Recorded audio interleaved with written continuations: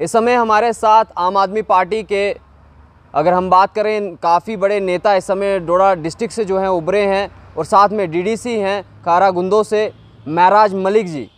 इस समय हमारे साथ बैठे हुए हैं और एक्सक्लूसिव बातचीत इनके साथ करेंगे और ख़ास करके अग्निपथ पर जो है अग्निपथ स्कीम जो लागू की गई है इंडियन गवर्नमेंट की तरफ़ से उस पर जो है वो खास बातचीत करेंगे। सर मैं आपका स्वागत करना चाहूँगा सबसे थैंक यू पहले। थैंक यू सर मैं जानना चाहूँगा जिस तरह से अग्निपथ की जो स्कीम है वो गवर्नमेंट ने निकाली है क्या लगता है आपको कितनी सही जो है वो यूथ के लिए है? देखिए पहले तो इन्होंने बेरोज़गारी लाई बेरोज़गारी इतनी लाई कि नौजवानों को मजबूर किया लोगों को मजबूर किया रोज़गार पाने के लिए।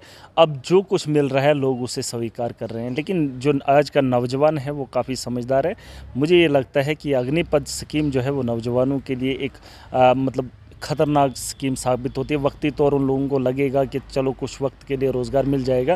लेकिन सबसे बड़ी बात इसमें समझने वाली ये है कि सतारह साल का बच्चा कौन सी क्लास में पढ़ता होगा? टेंथ में पढ़ता होगा नाइन्थ में पढ़ता होगा या ट्वेल्थ में। ट्वेल्थ में। लेकिन उसका जो कैरियर है वो ख़त्म हो जाता है। क्योंकि जो पढ़ने की उम्र होती है उस वक्त उसको ये मजबूर किया जा रहा है कि आप फौज में फौज में वो ऊपर वाले पद पे भी जाना चाहता है, ब्रिगेडर या कुछ भी मतलब जो जो इनकी पोस्टें होती, वहाँ पे जाना चाहता था, लेकिन नहीं जा पाएगा। चार साल उसको नौकरी करनी है, उसके जो सपने हैं, वो उसको ख़त्म कर रहे हैं और ये बेरोज़गारी का जो इन्होंने माहौल यहाँ पर क्रिएट किया है अब मजबूर और लाचारी की वजह से बच्चों के मुस्तकबिल को जो है रौंदा जा रहा है। जो आदमी जो बच्चा आ, मतलब मेडिकल में कुछ करना चाहता था या साइंस में जो है कुछ करना चाहता था उसे जो है इसका कैरियर जो है इसी दस साल पंद्रह साल या सोलह साल की उम्र में उसे ख़त्म कर दिया जाता है। कभी भी हमारे जो पढ़े लिखे या अच्छे बच्चे जो हैं वो कभी भी साइंटिस्ट नहीं बन सकते वो कभी भी बड़े ऑफिसर नहीं बन सकते।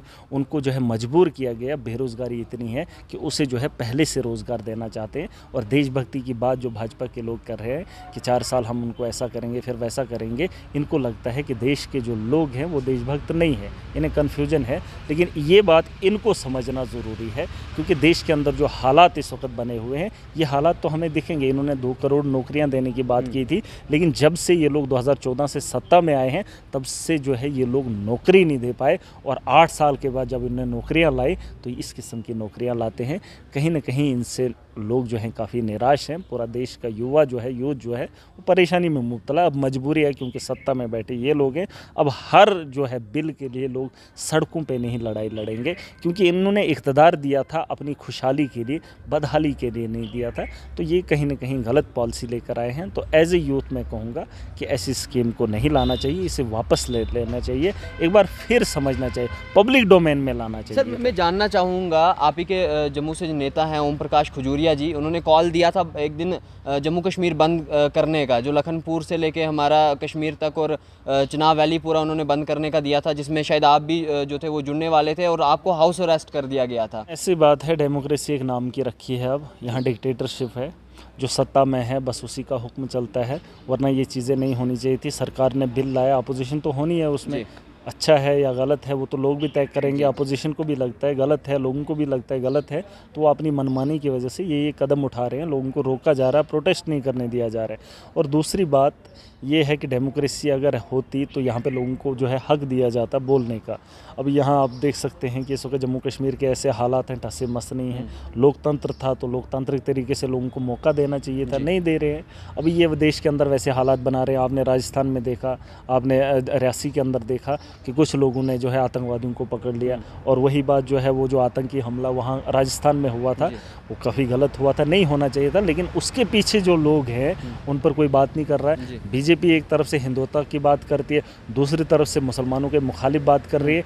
ये काम जो है पाकिस्तान ने भी एक वक्त में किया था कि मुसलमानों को उठाकर यहाँ पर राजनीति की उन लोगों ने भी ये राजनीति की। आज बीजेपी भी इन्हीं का इस्तेमाल करके जो है देश में जो है दंगे फसाद करके जो है अपनी सत्ता लेना चाहती है। लेकिन फेलियर होगा 800 बरस यहाँ मुसलमानों ने हुकूमत की। कितने बरस? 800 साल। हिंदुस्तान यही हिंदुस्तान था यही वो ज़मीन थी यहीं पे वो हिंदू भी थे यहीं पे वो मुस्लिम भी थे। माना कि लोग अलग अलग नाम अलग अलग हो गए हैं लेकिन धरती तो यही थी ना 800 बरस मुसलमानों ने हुकूमत की। मोदी को अभी आठ साल हो गए तो इतना समझ रहा है कि सारी दुनिया पर कब्जा कर लेगा पूरी नस्ल को जो है खरब बर्बाद कर देगा और वो लोग भी समझदार बन जाए कि अगर 800 बरस मुसलमानों ने यहाँ हुकूमत हुकूमत की तो हिंदुत्व को उतना नुकसान नहीं हुआ। हो सकता है बीच बीच में कुछ लोग गलत आए उन्होंने लोगों के साथ मतलब कुछ भी किया हो मैं तो जानता नहीं हूँ लेकिन जो इस तरीके से ये लोग कह रहे हैं किया होगा। लेकिन अब अगर ये लोग आए हैं अब ये लोग भी क्या करना चाहते हैं? अब तब अगर मुसलमानों का वक्त था आज इनको लग रहा है हिंदुओं का वक्त है आगे क्या होगा कल? कल क्या होगा? अगर 800 बरस नहीं रहे तो इनका तो 8 साल ये 8 साल में क्या करना चाहते हैं इस देश में? देखिए यहाँ लोग जीना चाहते हैं इंसानियत होनी चाहिए।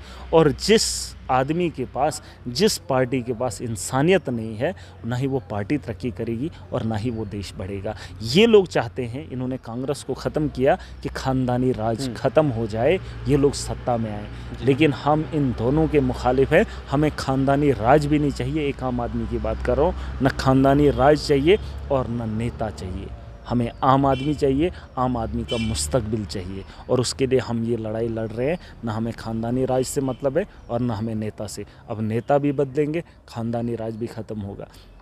जब ये सारी चीज़ें ख़त्म होंगी दिल्ली बदलाव का हिस्सा बना। दिल्ली में मैंने कहा राजधानी जहाँ है वहाँ के लोगों ने जो है हेल्थ को वोट दिया वहाँ के लोगों ने पानी को वोट दिया वहाँ के लोगों ने बिजली को वोट दिया वहाँ के लोगों ने एजुकेशन को वोट दिया। हिंदुस्तान की राजधानी में अगर इन चार चीज़ों की कमी है तो अंदाज़ा लगा लो एक अरब तीस करोड़ लोगों की आबादी वाला इतना बड़ा देश और इतनी स्टेटें अगर दिल्ली जैसी राजधानी जहाँ ये मंत्री बैठते हैं जहाँ पीएम बैठता है जहाँ सारे लोग बैठते हैं पूरे हिंदुस्तान के दुनिया के लोग भी वहीं आते हैं और वहाँ इन चार चीज़ों की कमी थी तो अंदाज़ा लगा लो मेरे जम्मू कश्मीर की हालत क्या होगी। उसको बदलने की बात नहीं होती है नेशनल मीडिया पर कभी एजुकेशन की बात नहीं होती है हेल्थ की बात नहीं होती है बस जहाँ दंगे होंगे टीआरपी के लिए दंगा। आम आदमी पार्टी की तरफ़ से जो है यहाँ पे एक मीटिंग जो है वो यहाँ पे रखी गई थी और इस मीटिंग के दौरान मैं आप सभी को बता दूँ काफ़ी जो लोग यहाँ पे हैं, वो देखे गए इस मीटिंग के राज मलिक जो हैं, वो यहाँ पे थे और उनसे बातचीत की और उस बातचीत में उन्होंने पूरे साफ़ तरीके से जो है वो बताया किस तरह से जो आइडियोलॉजी है, आम आदमी पार्टी की और दिल्ली मॉडल जो है, वो किस तरह से अंदर कश्मीर के अंदर लेके आएँगे और फ्री बिजली, फ्री एजुकेशन और फ्री फैसिलिटीज़, मेडिकल फैसिलिटीज़ जो हैं, वो प्रोवाइड की जाएँगी।